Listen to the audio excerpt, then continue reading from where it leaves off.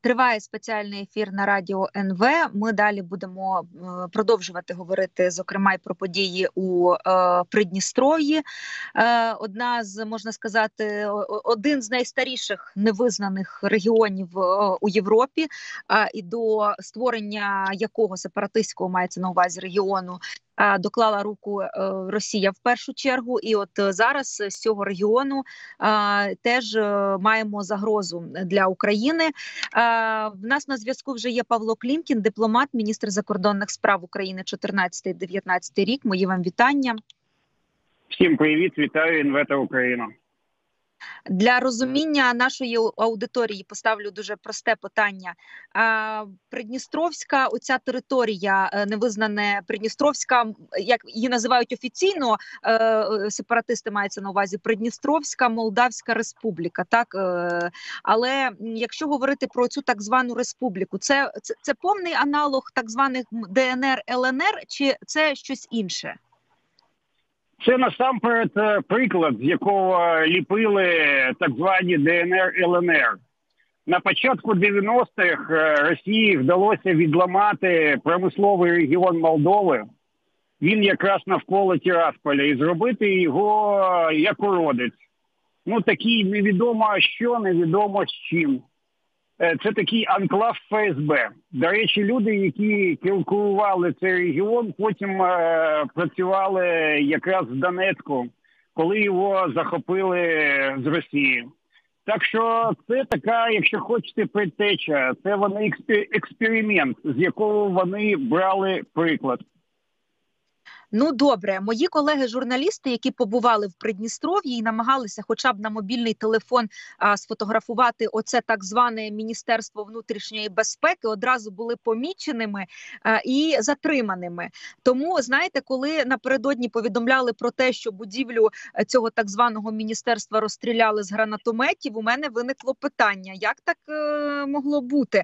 Е, я до того, що як ви вважаєте, хто стоїть за оцим за оцією серією вибухів, які про звучали в Придністров'ї два останні дні? Це все тупа і жалюгідна провокація. Я ж не знаю, хто це робив, ФСБ або ГРУ, або там е, разом, але це точно російська провокація. Ну, подивіться, якщо б е, це хтось інший робив, е, зовсім по-іншому все було б. Зараз вони всіх спеціально підпустили подивитися в перші дні. А подивіться, що зробили з будівлею, потім вибухи. Потім відповідно зробили вибухи цих радіомас е, в маяку. І це все абсолютно свідома логіка. Вони хочуть розмазати нашу оборону, хочуть створити ще додатковий тиск. Бачите, б'ють по мостах там в затоці і хочуть е, додатково контролювати будь-які шляхи з Одеси на Румунію. Тобто, це абсолютно тактична, зрозуміла логіка, і це все очікували, що вони саме і так будуть робити. Ну добре, тоді е, вчора, е, після серії вибухів, я скажу, що е, один раз нібито розстріляли оцю будівлю міністерства, другий раз завдали атаки по е, радіовежі. І от Майя Санду скликає е, РНБО, ну Раду безпеки, е, виходить після неї і каже, що оці всі вибухи, які відбулися, вони пов'язані із силами всередині невизнаного регіону. І вона дає свою прес-конференцію, відповідає на питання. Це все дійство триває близько 10 хвилин, і вона жодного разу не згадує слово Росія або навіть не натякає, що до цього може бути причетна Росія. Вона каже, що це конфлікт всередині Придністров'я. Як це розуміти? Ну насправді в тому сенсі, що ФСБ сидить всередині Придністров'я, так це має рацію на 100%. Е, ФСБ власне регіони контролює. А має дійсно дуже боїться, боїться через постачання газу, боїться через те, що Росія буде зараз розкручувати ситуацію в Молдові. Ви ж знаєте, що якраз на травень у них е, подальше постачання чи не постачання газу. Росія від них вимагає аудит невідомо яких боргів.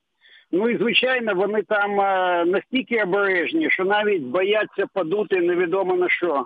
На воду чи на молоко, як там кажуть в відомому прислів'ї, але має все одно буде вимушено реагувати. оскільки Росія свідомо веде до ескалації. Чи буде це ескалація до воєнних дій? Там є декілька тисяч російських військ до трьох тисяч, які охороняють найбільше в Європі сховище боєприпасів Ковбасна. Така забавна назва у села. Це два кілометри від нашого кордону. І там зброя ще з часів Першої світової, чого там тільки нема. Вона, начебто, майже не стріляє, але тим не менше дуже важлива. Ну і звичайно, в Молдові ж військ майже немає, а в Придністров'ї там тисяч десять є. З них там половину, не знаю, боєздатна, не боєздатна. З моралью там зовсім не склалося з бойовим духом, але тим не менше вони якось озброєні. Тому Кишинів просто боїться. Він так само, як він боїться накладати санкції на Росію, а потім каже, давайте ми паровозом підемо в Євросоюз разом з Україною. Ну тут знаєте, або хрестик, або труси. Ну скажіть, будь ласка, от ми багато говоримо про те, що мовляв, після України якась країна Європа може бути наступною, куди там е, може вторгнутися Росія. А можуть ці сили в Придністров'ї якраз таки використати для якоїсь дестабілізації всередині, всередині Молдови, яка не є під парасолькою НАТО? І, звичайно, можуть. Я думаю, що Молдову ніхто не віддасть, е, і нам не вигідно, щоб Молдову дестабілізували. Так що нам прийдеться їм допомогти. Будемо тут чесними. Та і НАТО це не вигідно, особливо румунам. Ви ж прекрасно розумієте, що румуни вважають Молдову е, е, спорідненим за історією, за мовою. Тому їм віддати Молдову Росії ну точно ніяк не лишить. Е, і я думаю, що Молдові будемо всі допомагати. А росіяни дуже хочуть проковтнути Молдову. Їм за щастя пробити цей коридор. Вони там е, словами якихось генералів, невідомо яких це абсолютно свідомо кажуть. І я завжди казав, що український південь для Путіна стратегічно важливіший ніж схід, оскільки це дає контроль над Чорним морем, дає можливість відтворити їх брейдовий міф на Воросі дає можливість відрізати нас від моря і ще ще багато різних речей. Те, що ми їм ніколи не дозволимо.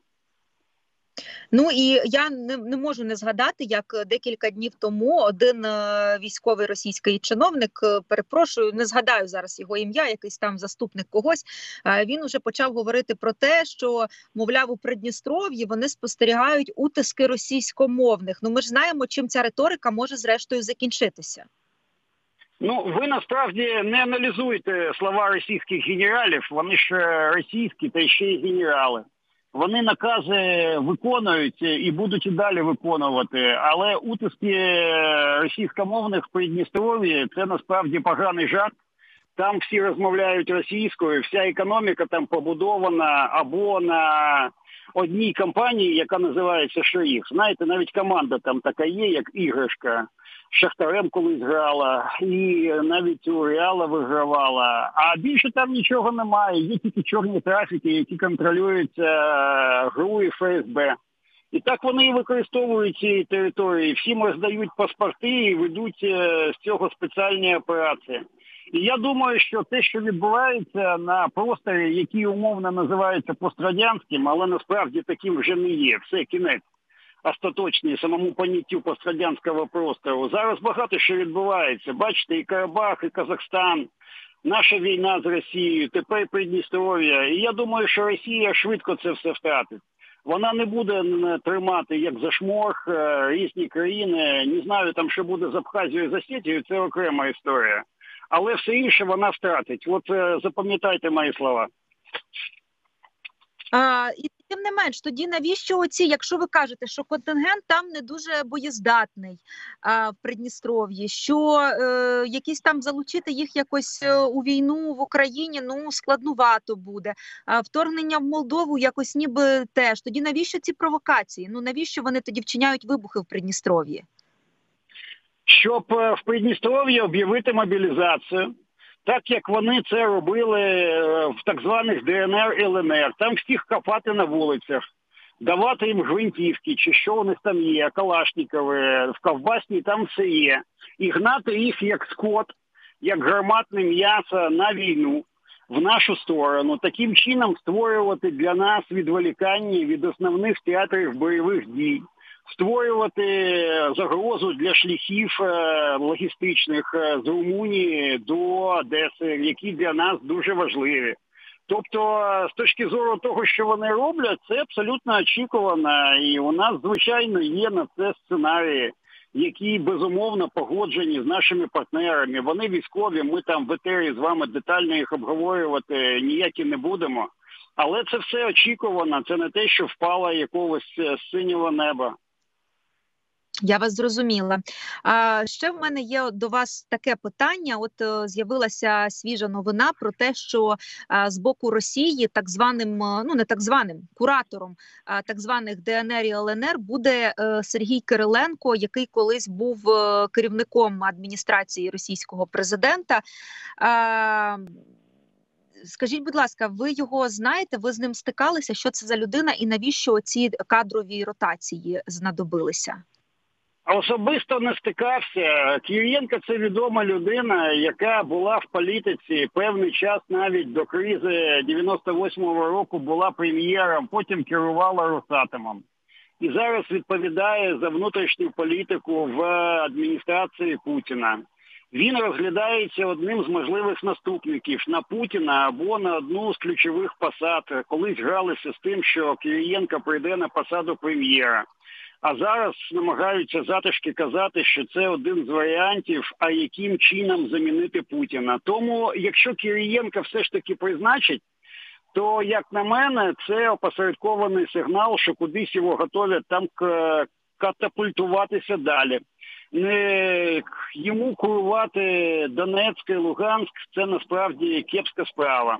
Тут це намагався робити від е, їх злочинної партії Єдина Росія Турчак який там роздавав партійні квітки е, всім там злочинцям, які е, керують тимчасовими адміністраціями. А якщо буде призначений Кирієнка, то очікуйте потім е, його підвищення на іншу якусь злочинну посаду в цьому режимі. Я перепрошую, а що ТНР ЛНР це такий плацдарм для кар'єрного ривка в російській політиці? В сьогоднішній реальності так оскільки вони розкручують е, оцю е, кошмарну варварську злочинну емоцію, е, намагаються всім прочистити остаточно місці, роблять зачистку з автократії під диктатуру, під новий варіант путінізму. І ця, цю війну зараз підтримують за 70% росіян. Давайте будемо чесними. І проти нас воює не тільки Путін, а воює колективний Путін, і ще гірше колективний Жириновський. І вони хочуть використати цих людей для того, щоб зараз організувати, начебто, ну організувати, це називається е, зробити фейк і просунути вперед тих людей, яких вони хочуть. А для чого вони це роблять? Абсолютно свідомо. Там же все театр ляль, ляльководи є, а всі інші ляльки. От ляльководи всі сидять в адміністрації президента Путіна. Більше їх там немає. Угу. Добре, тоді е, ще хотіла у вас запитати про е, візит е, Ентоні Блінкена і Ллойда Остіна, але не стільки про сам візит, а те, що ми вже спостерігали після нього. Оцей збір очільників Міністерств оборони з 40 країн в Німеччині. І тепер виглядає так, що допомога України буде мати якийсь централізований пункт управління і таке інше. Що ви про це думаєте?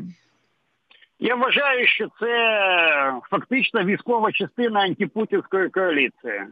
І це mm-hmm. знакова зустріч, оскільки, по-перше, це база Рамштайн.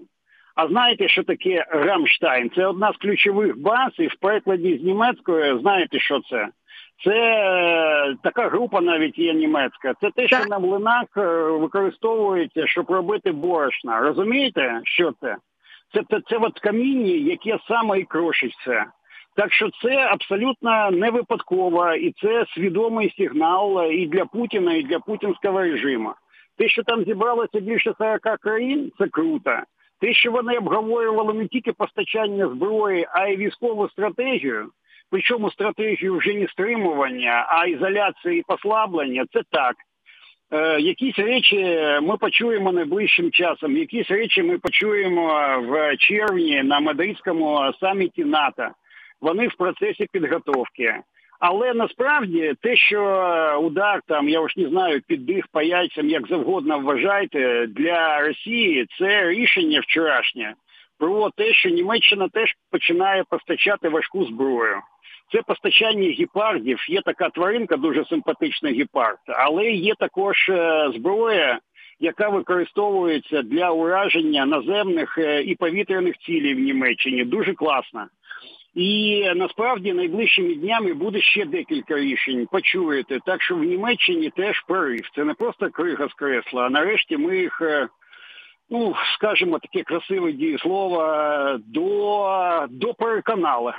Не будемо говорити там дотиснули щось таке, ми ж такі ввічливі і своїх партнерів поважаємо. Ну і насправді зараз фактично значна частина країн від тих 40, які були в Рамштайні, нам постачають або складну, високотехнологічну хай-тек зброю, і це дуже критично. Це і дрони, і інше, не буду про що казати. І дальнобійну артилерію, і бронетехніку. Тобто все те, що потрібно у війні, не тільки для того, щоб оборонятися, а й для того, щоб наступати для виконання всіх можливих цілей війни. І оце насправді дуже важливий результат ну не тільки вчорашньої зустрічі, але зокрема і вчорашньої. Ну добре, тоді з ваших слів в Росії мають мали вчора збагнути, що Захід їм послав сигнал, який свідчить, каже про те, що хлопці, ми вас будемо стирати в порошок. Та як ви зараз провели аналогію. Ну, мабуть, там має послідувати якась реакція в Кремлі. Ну, хоча б я не знаю, якісь великі звільнення, втікати хтось можливо би почав. Ну ну це ж самогубство прикре, якщо нічого не робити і не реагувати. Не знаю, порошок чи не порошок, але Рамштайн, ви зрозуміли, що це в перекладі з німецької. А, насправді там же ж тотальна лояльність, там середньовічна система, там фашизм. Ну зробіть собі висновки і порівняйте сьогоднішній російський фашизм з фашизмом Муссоліні. Ну які відмінності ви знайдете? Міфологізація історії, фіксація на одного лідера міфологізація цього лідера, зачистка всього, чого можлива, реваншизм. Це все класичні риси, так само, як і було у Муссоліні. Тому вони і далі будуть це продовжувати. У них на кожного є папочка, на кожного є ампула з новічком, чи що у них там є. Тому думаю, що звільнення будуть, але звільнення буде потім. Зараз Путіну показувати, що він робить масову зачистку. Це означає запустити острах всередині самої Росії. А що стосується тих, хто буде вистрибувати, так, є там олігархи, які відкривають рота, їм там щось дозволяють, але всі інші мовчать в ганчірку і нічого говорити не будуть, оскільки знають, що інакше їх доля дуже швидко вирішується ближче до ада. На небеса вони ніхто не потраплять, але до ада можуть набагато швидше. Напередодні команда Олексія Навального склали список із 6 тисяч людей, російських громадян, яких вони називають тими, хто розпалював війну. І там і блогери, і зірки, і політики, і силовики.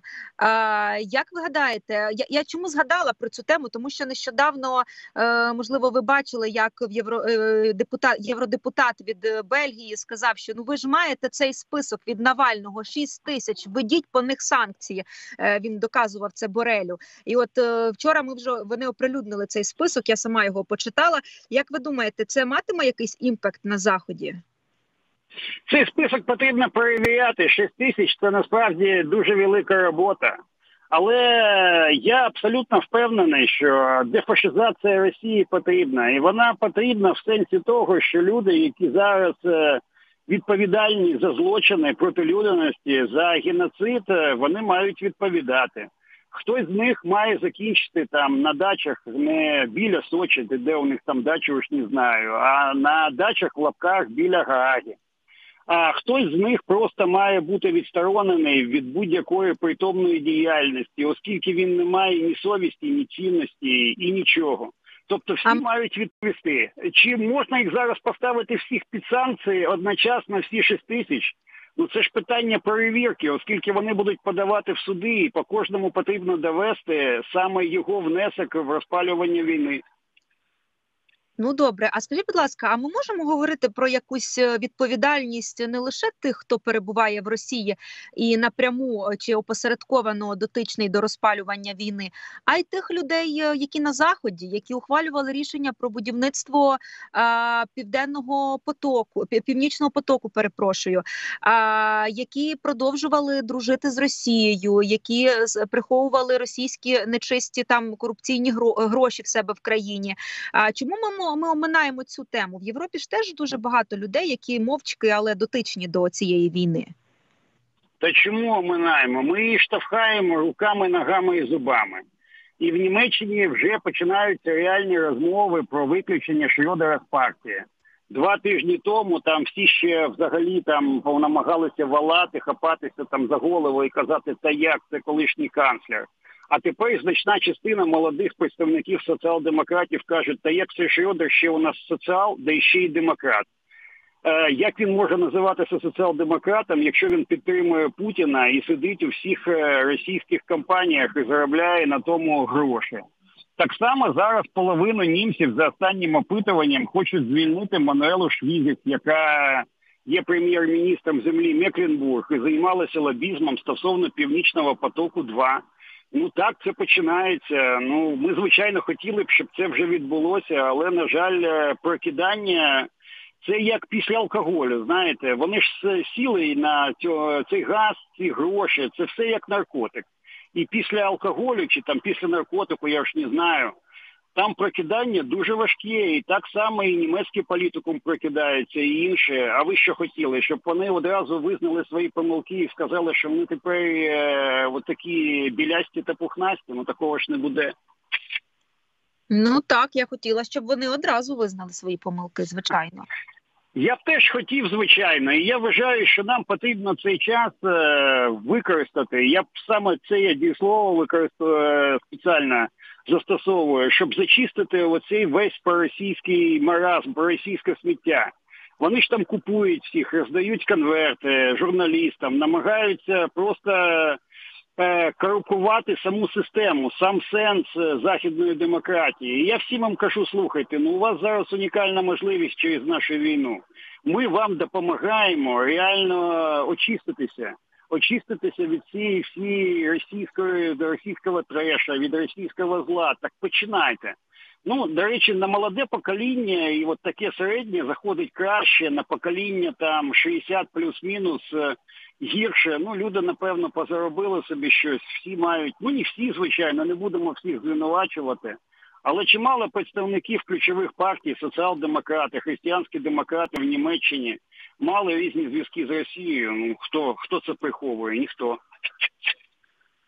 І ще в мене одне питання. Воно стосується санкцій майже безпосередньо самого Путіна. Майже ну от днями Wall Street Journal написали е, публікацію про те, що е, США не вводять санкції проти фактичної дружини Путіна Аліни Кабаєвої через те, що е, Путін може відреагувати дуже агресивно. Вони бояться його агресії, що це може спровокувати якесь більше загострення. Я роблю з цього висновки, що інструменти впливу і тиску залишаються, але їх не використовують через страх. Ну, звичайно, вони є. І є додаткові економічні санкції. Ну, Свіфт, е, де він працює стосовно Сбербанку, та ніде не працює. От сьогодні в Росії відключили Болгарію і Польщу від російського газу і намагаються навіть глузувати, щоб вони не відбирали з газогону газ.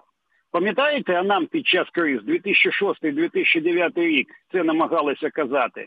І я тоді їх ще попереджував, що це вас абсолютно на 100% е, торкнеться і буде стосуватися. Вони тоді казали, да ладно, Павло, да ти що, такого не буває. Ну от ми насправді дочекалися. Є ще дуже багато різних важелів, і не тільки персональні, якщо ви там маєте на увазі Кабаєву і не тільки.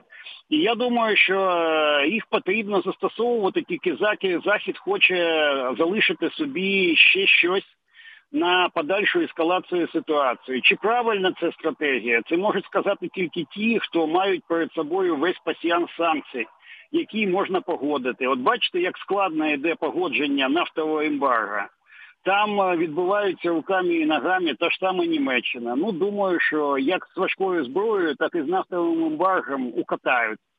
Ну, всі ми укатаємо, звичайно, але тим не менше складно йде, дуже-дуже складно санкції, дуже складно вийти з теплої ванни, дуже складно, коли Путін там загрожує чи ядерною зброєю, чи чимось іншим, чи якимось, е, напевно, історіями, компроматом.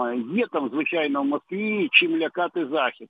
Але нова нова політика західна, вона все ж таки зрозуміла, що Росія це зло і ізоляція, і е, ані стримування, послаблення, а не співробітництво це вже слова, які сприймає. Ну, вони всі, звичайно, але я думаю, значна частина західних політиків. І це це, це, це насправді дуже класно. Це реальне прокидання Заходу після цієї наркотичної залежності від Росії. Е, дякую дуже вам е, за аналіз. Павло Клімкін, дипломат, міністр закордонних справ України, 14-19 рік. Е, ми говорили про ситуацію в Придністров'ї, про санкції і про те, чим може для Росії завершитися ця війна. На цьому я свою частину ефіру буду завершувати. Повернуся до вас завтра. А ефір на радіо НВ триває. Подписывайся на канал Радио НВ. Вот тут.